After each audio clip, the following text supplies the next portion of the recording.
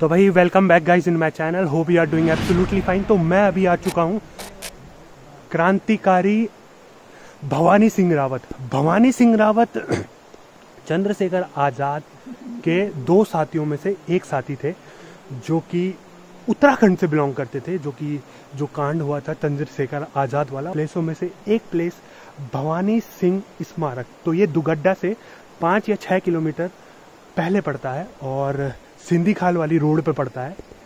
तो आप ज़रूर आए यहाँ और जब भी भी आए यार, देखें और फील करें यार, हमें अपने क्रांतिकारियों के बारे में पता होना चाहिए। तो गाइस देखो और समझो।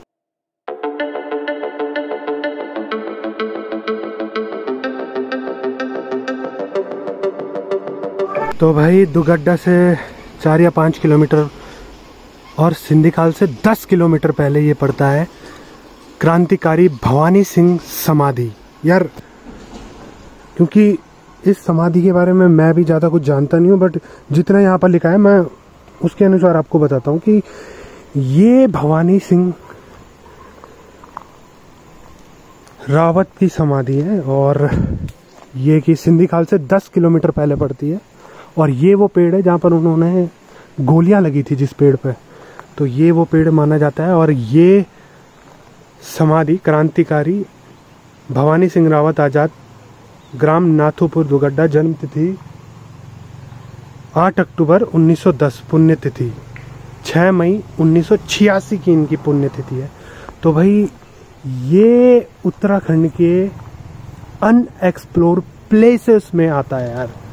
ठीक है? तो ये उत्तराखंड के अनएक्सप्लोर प्लेसेस में आता है। ये वो उनकी समाधि है, भवानी सिंह रावत। और भवानी सिंह रावत जो कि यार गढ़वाल के इन्हीं क्रांतिकारी रहे हैं, और महान क्रांतिकारी चंद्रशेखर आज़ाद का जन्म 30 जुलाई 1906 को भाबरा गाँव, मध्य प्रदेश में हुआ। 6 जुलाई 1930 में चंद्रशेखर आज़ाद ने अपने साथियों के साथ गडोदिया स्टोर चांदनी चौक दिल्ली में डकैती के अंजाम देने के बाद वह भवानी सिंह रावत एवं अन्य क्रांतिकारी साथियों के साथ अंग्रेज़ों को चकमा देकर किसी निरापद स्थल की खोज में नौड़ी के जंगल में आए।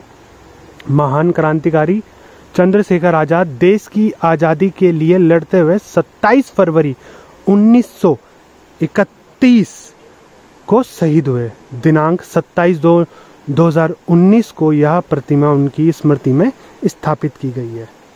तो भवानी सिंह रावत जो थे, वो क्रांतिकारी चंद्रशेखर आज़ाद के साथी थे।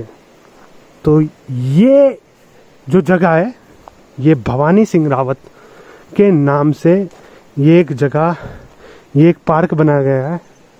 आप देख सकते हैं, ये पार्क है। क्रांतिकारी भवानी सिंह रावत के नाम से। तो भाई देख लो, ये हमारी उत्तराखंड की जो चीज़ें हैं, जो कि अभी अनएक्सप्लोर है, आप यहाँ आओ, देखो, बहुत ही सही।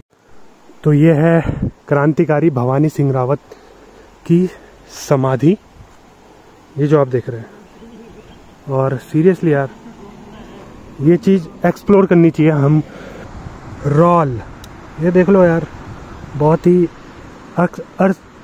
अक्सर बरसात में ना ऐसे गदन बहुत सारे निकल आते हैं। तो ये गढ़वाली भाषा में इसे रॉल बोलते हैं। व्यू देखो यार, व्यू कितना बढ़िया आ रहा है। ये देखो, ये हमारे दो साथी, और व्यू देखो यार, कितना बढ़िया आ रहा है यहाँ से। तो ये कोटद्वार से कोटद्वार से दुगड्डा चौदह किलोमीटर पड़ता है, और दुगड्डा से छः किलोमीटर दूर ये सिंधी खाल वाली रोड पड़ती है। तो यार, आओ एक्सप्लोर करो, ये unseen unexplore places of Uttarakhand है यार। उत्तराखंड में बहुत सारी जगह हैं जो अभी अनएक्सप्लोर है। उन्हें हमें एक्सप्लोर करनी चाहिए। ठीक है? चलो, चलते हैं फिर घर की ओर।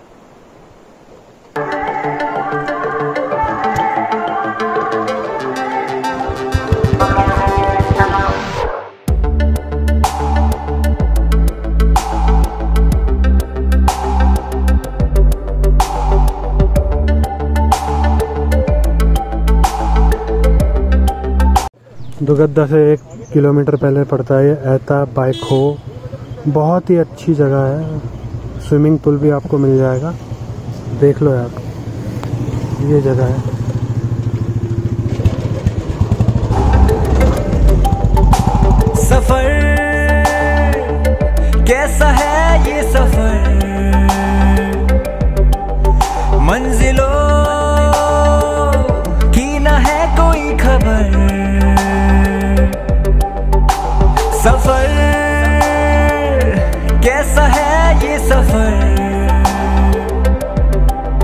मंजिलों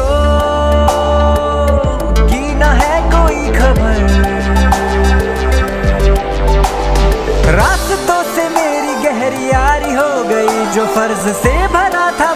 तो भाई अभी तुम्हारा भाई पहुँचा है रास्ता कैफ़े। रास्ता कैफ़े खुल चुका है तो यार कोटद्वार के आसपास वाले जितने भी है आ सकते हैं कोटद्वार के आसपास वाले रास्ता कैफ़े में।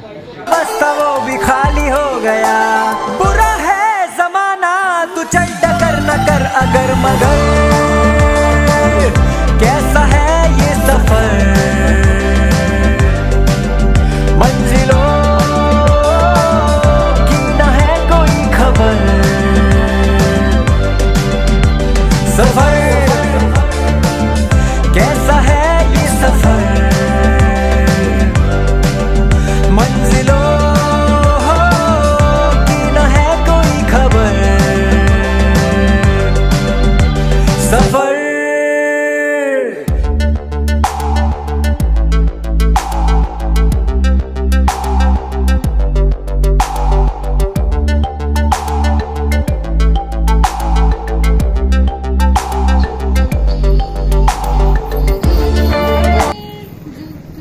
तो भाई ये है रास्ता कैफ़े का व्यू।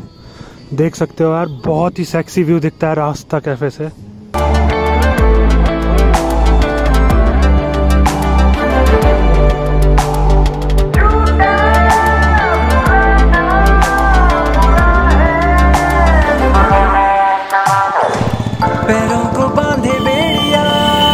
तो भाई जब भी आप दुगड्डा हो तो दुगड्डा आने ते वक्त आपको हाथी भी दिख सकते हैं। तो यार ये देखो हाथी।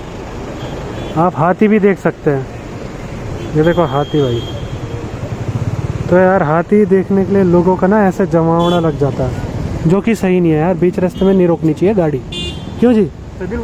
तो यही सभी लोगों से अनुरोध है मेरा कोटद्वार और दुगड्डा जाते हुए ऐसे गाड़ियाँ रोके नहीं क्योंकि हाथी तो अपना काम कर रहे हैं बेचारे।